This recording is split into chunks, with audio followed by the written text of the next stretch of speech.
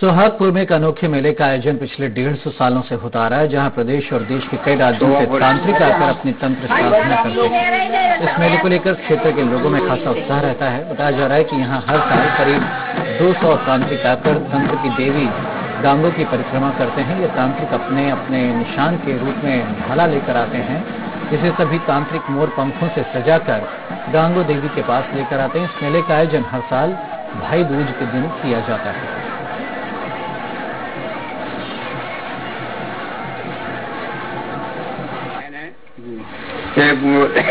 हमारे बुज़ुर्ग शोभापुर से जीत के लाए थे।